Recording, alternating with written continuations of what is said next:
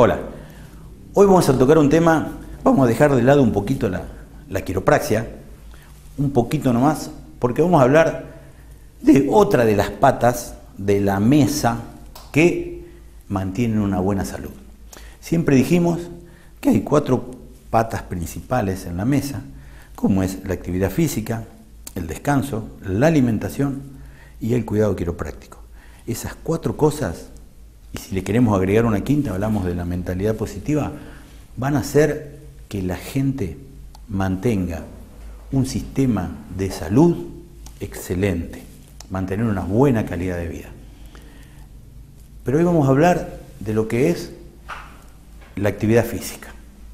Mucha gente me consulta eh, cuál es la mejor actividad física que podemos realizar eh, o qué deporte podemos realizar, porque a mí no me gusta ir a un gimnasio y me gusta hacer un deporte eh, adecuado eh, para mí. ¿Cuál es el mejor deporte? Me dicen el mejor deporte es la natación, muchos.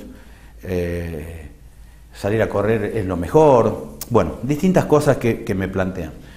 Yo siempre respondo que la mejor actividad física para la persona es de acuerdo a la condición de esa persona, pero no a la condición física en que se encuentre solamente, sino la condición en general.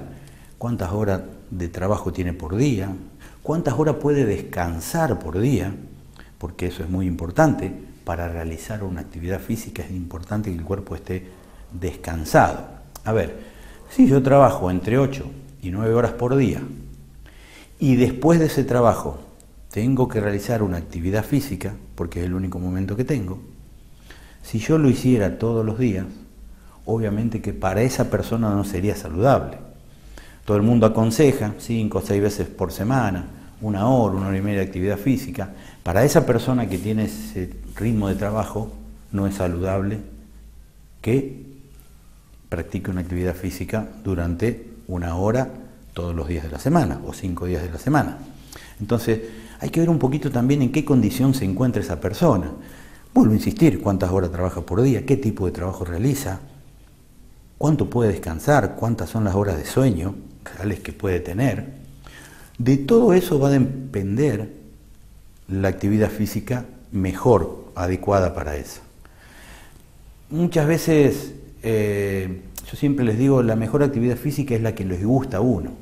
Yo le puedo aconsejar a una persona vaya hacer yoga o vaya a hacer pilates, que son buenas actividades físicas, donde se trabaja medianamente intenso, hay mm, para regular esa actividad, entonces yo la puedo realizar después de mi trabajo. Pero si no te gusta, es obvio que no la vas a seguir por un tiempo. Entonces, y lo ideal de la actividad física y donde mejor resultado nos da es manteniéndola durante un tiempo. La frecuencia con que yo la realice es lo mejor que le puede pasar al cuerpo para sentirse saludable o para que esa actividad física sea saludable para vos. Entonces, lo ideal primero es que te guste. Hacer una actividad física que vos te sientas con ganas, que llegue la hora, que llegue el momento de realizarlo y vos tengas ganas de hacerlo. Lo segundo es, de acuerdo a las horas que vos puedas descansar, es la intensidad con que tenga que tener esa actividad física. Eh, hoy está muy de auge el CrossFit, que hay mucha gente, jóvenes y no tan jóvenes también, pero es una actividad bastante intensa. Entonces, si yo no tengo horas de sueño y de descanso para realizarlo, no va a ser bueno, no va a ser saludable para mí. Puedo salir a correr, puedo salir a caminar, caminar es excelente. Lo que sí, cuando yo salgo a caminar, tengo que tener un ritmo, porque no es lo mismo una caminata de paseo, mirando vidrieras o, charlando con gente, que una caminata deportiva. Yo generalmente les digo, traten de, hacer en un minuto una cuadra, como para que tengan una idea. Pero la, caminata tiene que ser exigente, que yo no pueda, después de 10 minutos, mantener una charla con la persona que vengo al lado. Porque ya baja la intensidad y no me va a servir para lo que yo busco, que fortalecer el corazón, mejorar la parte cardiorrespiratoria. Entonces, tiene que haber una intensidad en esa caminata y es fabuloso caminar, pero con una intensidad. Entonces, nadar, claro, no hay gravedad, el agua me ayuda, pero la natación es bastante cansadora, se trabaja mucho con la extremidad superior. Entonces, si yo voy a ir a la pileta a nadar y voy a estar 20 minutos, tampoco me va a ser muy beneficioso para la salud. Pero siempre todas las actividades físicas adecuadas, moderadas, para cada uno de nosotros son buenas. Todas. Hay que tener en cuenta la frecuencia con que yo la voy a realizar para poder recuperarme. Si yo trabajo como hablamos anteriormente, es obvio que con tres veces o cuatro agregándole un día del fin de semana puede ser lo mejor y más saludable para mí, y no todos los días. Entonces hay que tener en cuenta eso. ¿Qué tiempo de descanso tengo? ¿Qué trabajo llevo durante esas horas?